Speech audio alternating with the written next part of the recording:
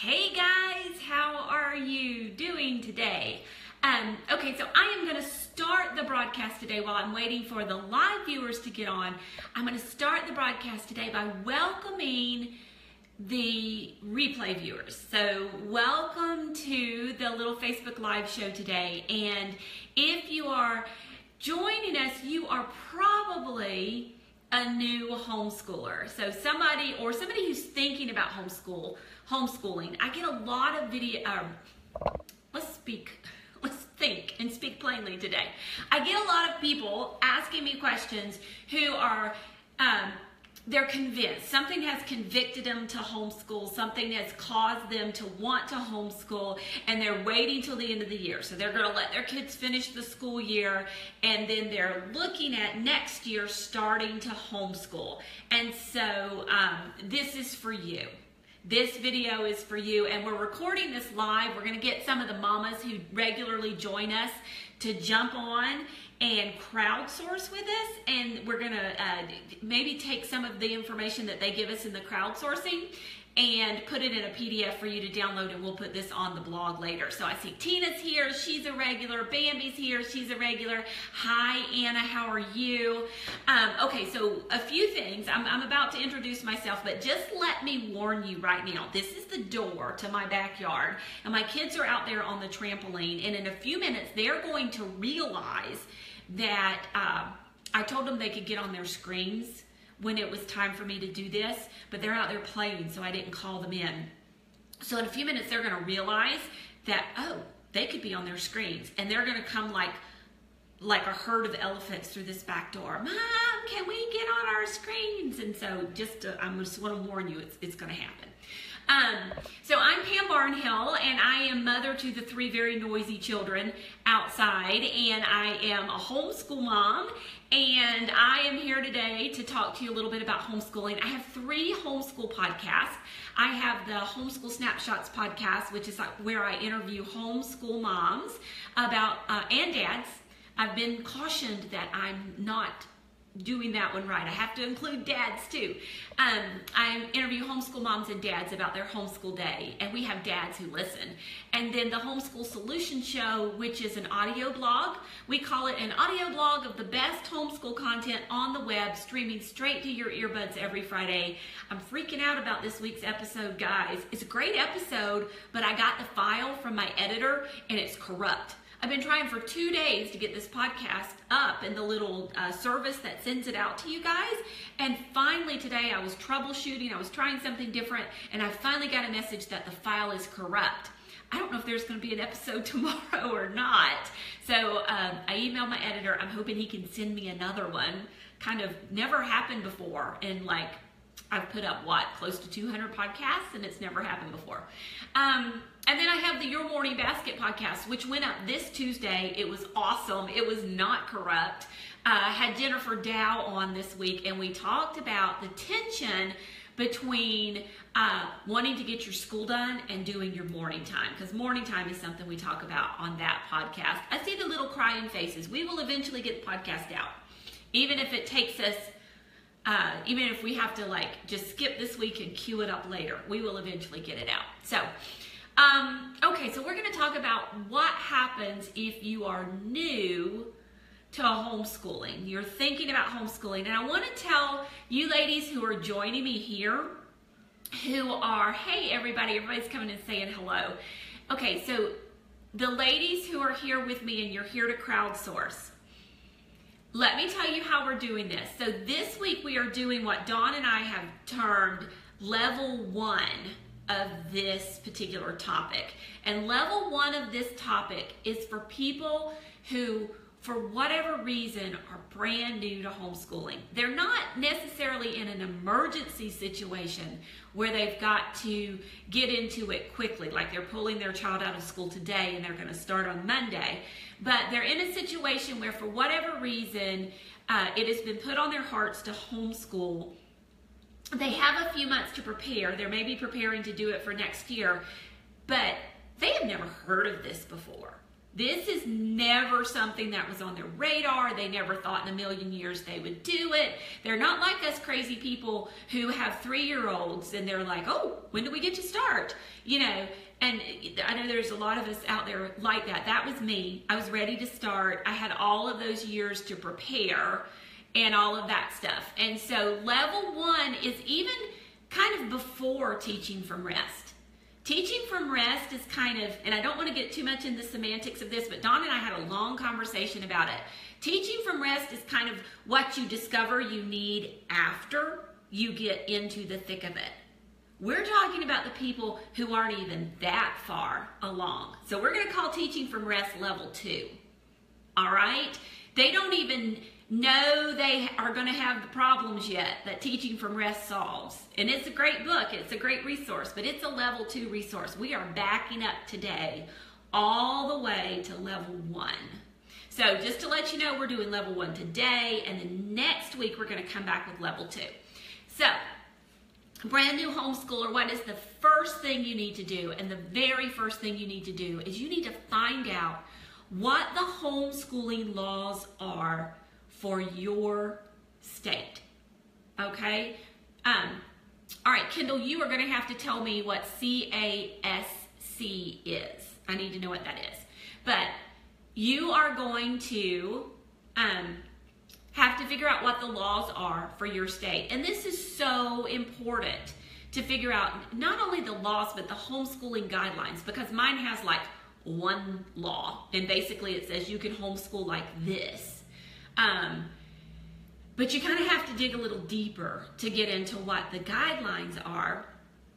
And the reason I say this, you would be amazed, ladies, at how many veteran homeschoolers we have in our local groups that come on and ask a question about what are my requirements about this and what are my uh, what are you doing to fulfill the new career uh, education requirement for high schoolers well, guess what? There is no career education requirement for, high, for homeschool high schoolers in our state. It was something new they implemented in the public school, but it's not for homeschoolers. And these moms who have been homeschooling for years don't know that because they don't know what the state requirements are. So don't only find out what the state requirements are so you can be sure that you're fulfilling them, Figure out what the state requirements are so you can be sure you're not jumping through hoops that you don't have to jump through. That's a big thing.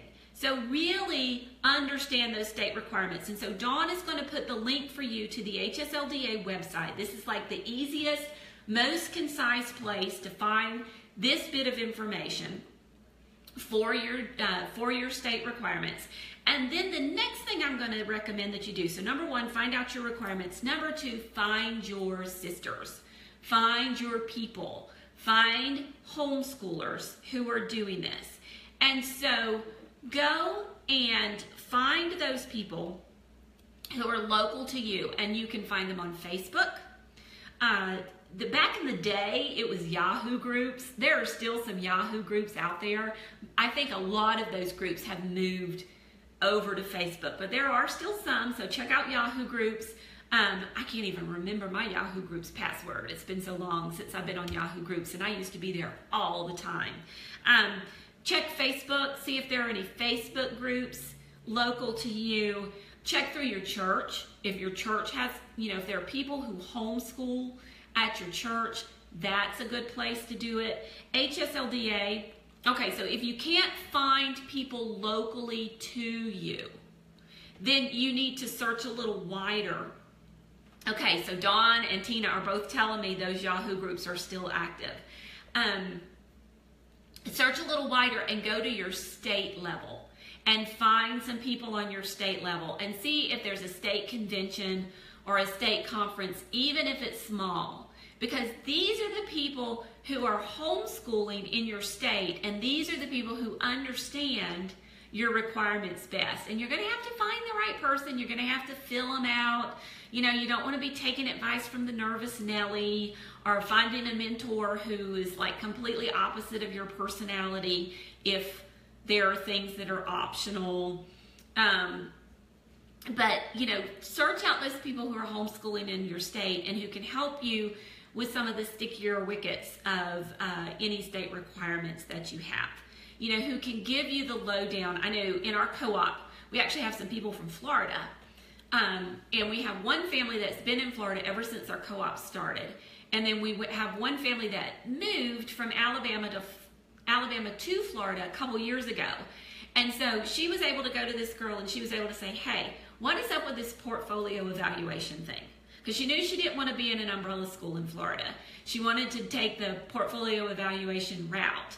And she was able to say to her, what do I need to do about this? And because the girl lived in Florida and used that method of homeschooling evaluation with the state of Florida and had experience with it, she was able to hook her up with an evaluator and tell her what kind of things she needed to put in her portfolio. And so she was set. And she got that information from another homeschool mom. So find your people. And I hope to goodness that you can find somebody who is local to you, or you can find uh, somebody, you know, reach out to the state level and see if they can put you in contact with uh, someone who's in your area.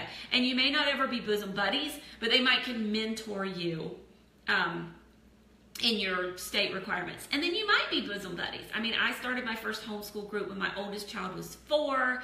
Um, that was, gosh, Olivia's 11 now, and I'm still like, some of those girls are in our current co-op. So we've been together all these years. So um, that's that's what you need to do.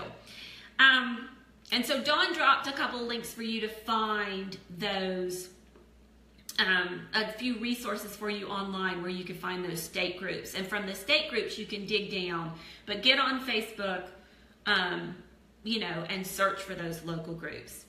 Okay, the next thing you need are you need a few resources to help you out. Like how do you structure your day? What do you do when you wake up Monday morning?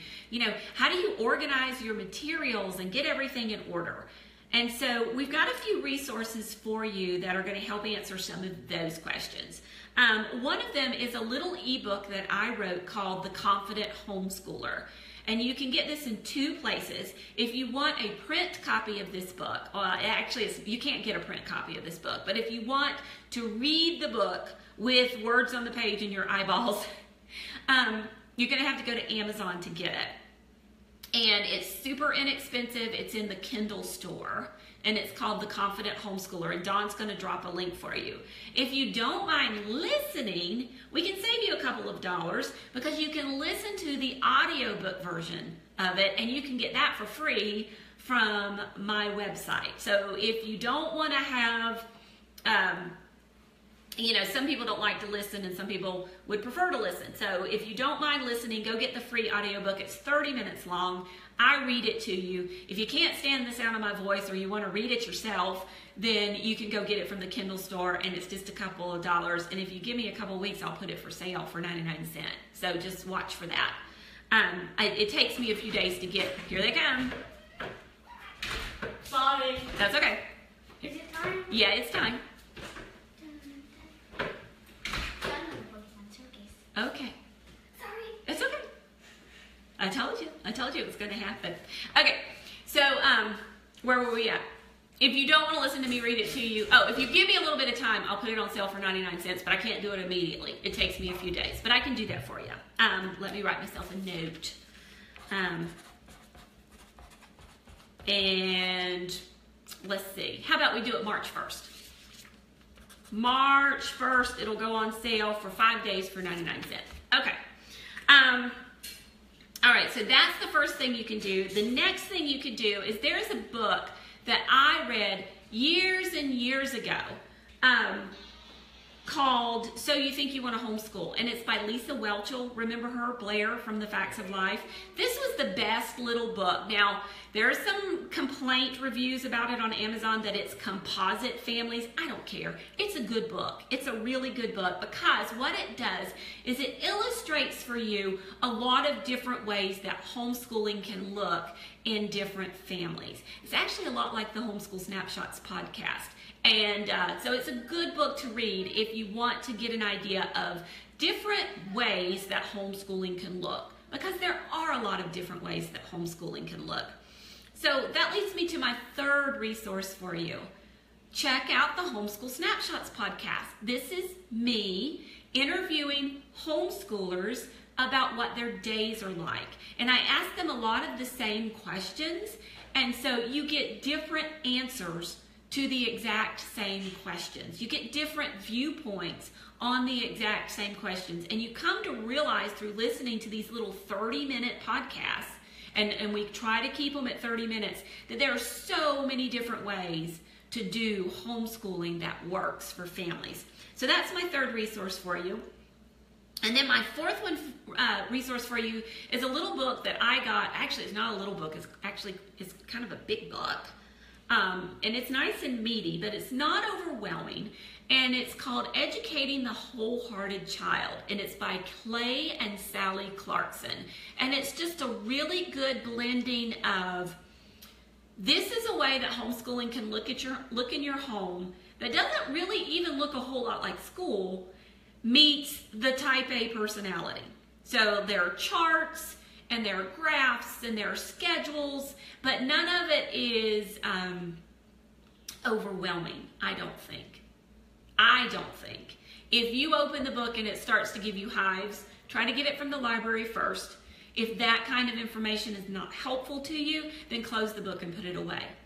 Uh, but if you like that sort of thing, if you want some schedules, then you know, go ahead and and check that one out. Educating the wholehearted child. So Dawn is asking, what was the best advice you got when you told people you wanted to homeschool? What did you really need for that first year of homeschooling? Dawn, actually, I think one of the you actually said this earlier. You said before you started homeschooling, what did you need to know?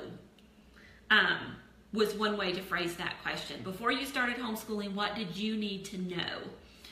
Um, so moms who are veteran homeschoolers, put those in the comments for us, and we would appreciate it.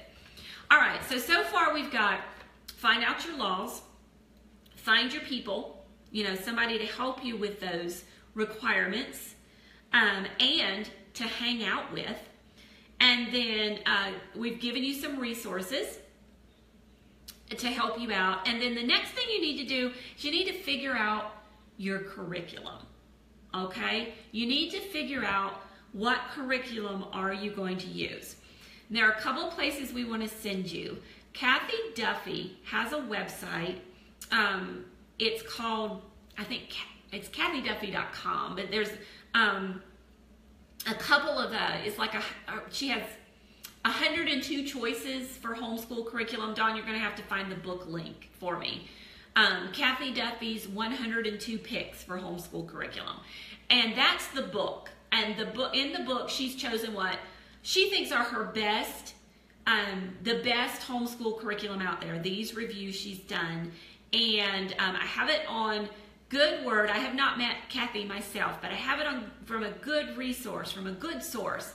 That uh, Cathy's reviews are very objective um, and she doesn't, you know, she's she's she's giving you the real deal. She's giving you a good review.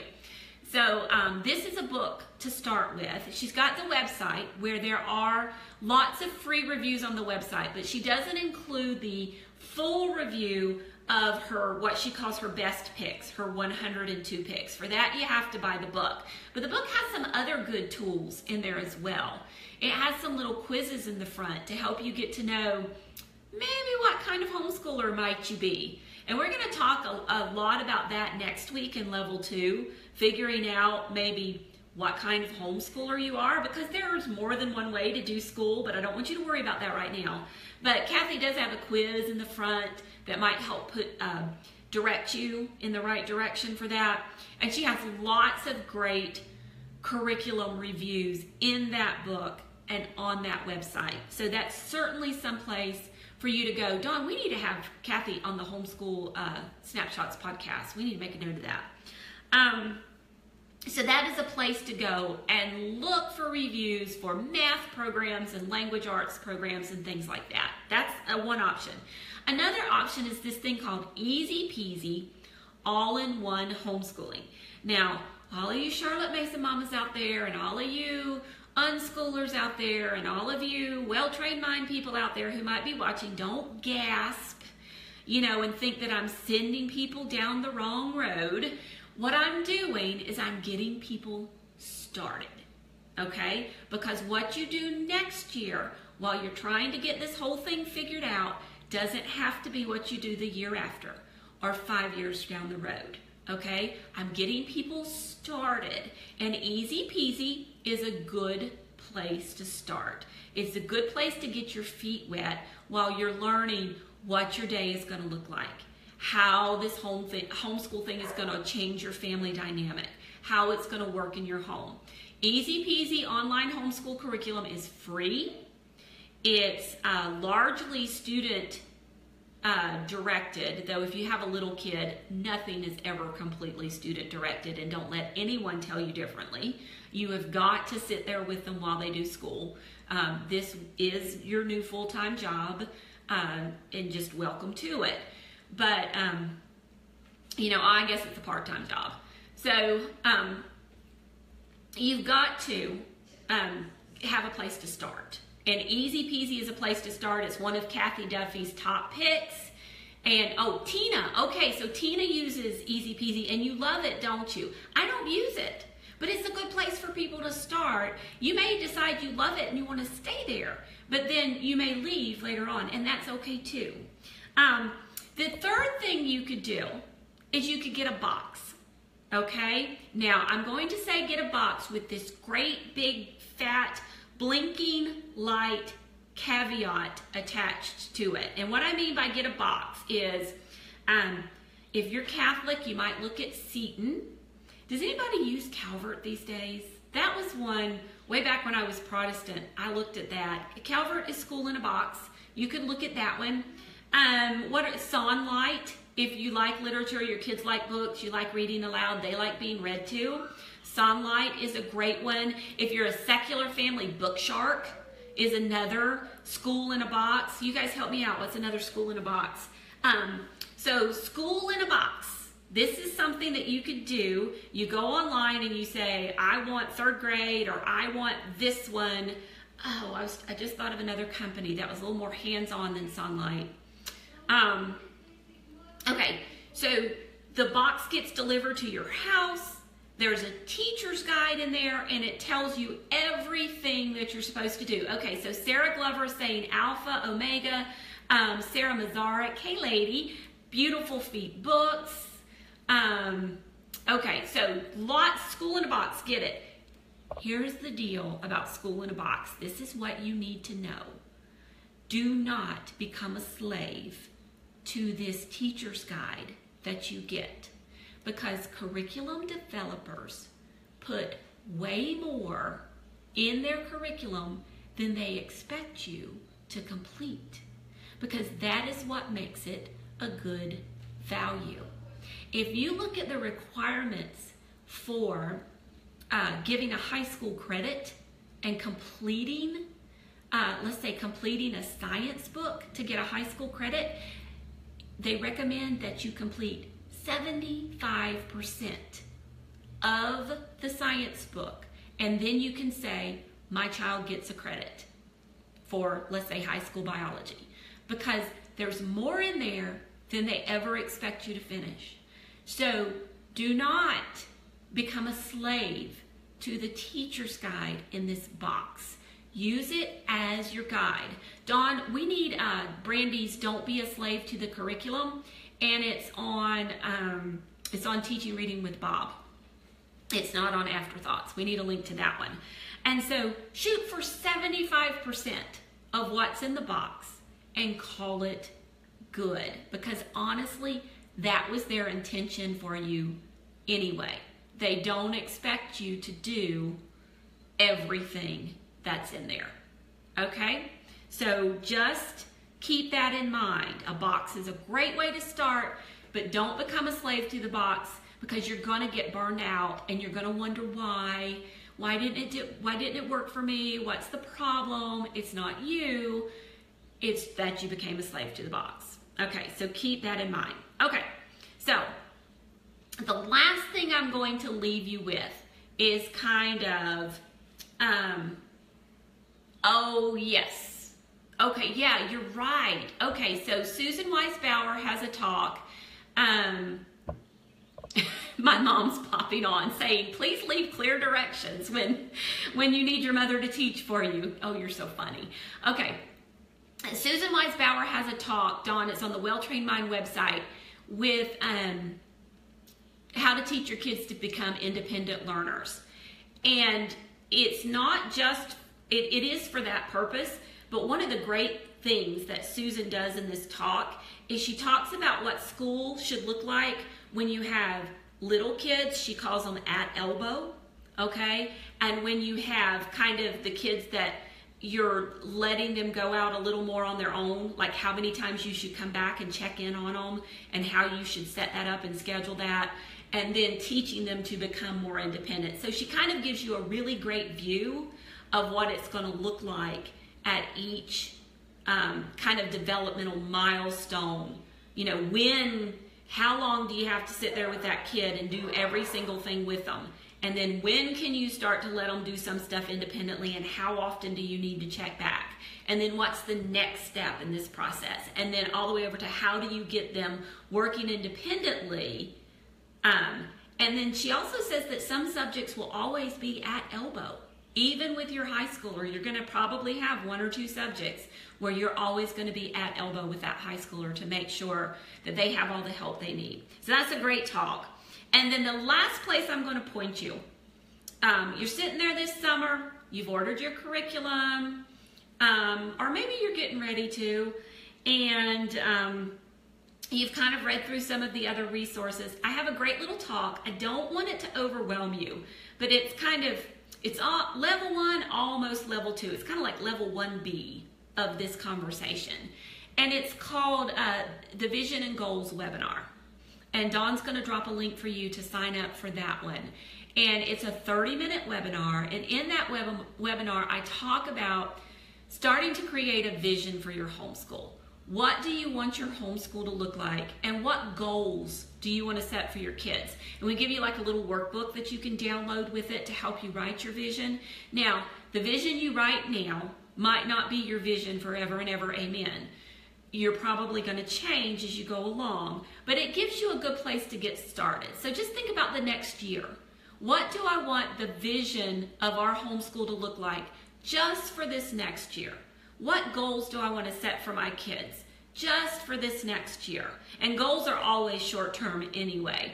And we give you some worksheets and some forms to fill out that you can use to help you kind of figure out where you're going because having a plan in place of where you're going before you get started keeps you from throwing off your math curriculum in the middle of winter or buying a bunch of new stuff in February uh, or changing up everything just because you're having a bad week. You can go back to your vision and you can say, wait a second, this is what I'm supposed to be doing. These things fit my vision we're going to keep working through and see if we can figure out what's wrong somewhere else. So that's kind of moving into the next level that we're going to talk about next week. What do you do when you've been homeschooling a year? You're starting to feel a little more confident and you've been hearing all of these things about Charlotte Mason or John Holt or uh, Plato or Susan Wise Weisbauer or Classical Conversations. You know, where do we go from here now that we have a year under our belt and we're want to kind of stretch our wings as homeschoolers? We've survived the first year, and where do we go from here? Um, but right now, I want to get you to survive that first year. That's the big, most important thing. So you can find us here on Facebook at Homeschool Solutions with Pam Barnhill. Um, we really try to tickle your funny bone here and give you things that make you go, hmm. And then interspersed with that, we put really helpful homeschool things. But it's a good mix of all of that. Um, and then also on pambarnhill.com, you can find all the podcasts there and helpful information, some homeschool planning forms that are free to download. Um, I have a homeschool planning kit. We're going to talk more about that next week. But um, lots of helpful tools for you over there. And there's a great start here page on that website as well. So I hope this was helpful to you guys. Continue to ask your questions.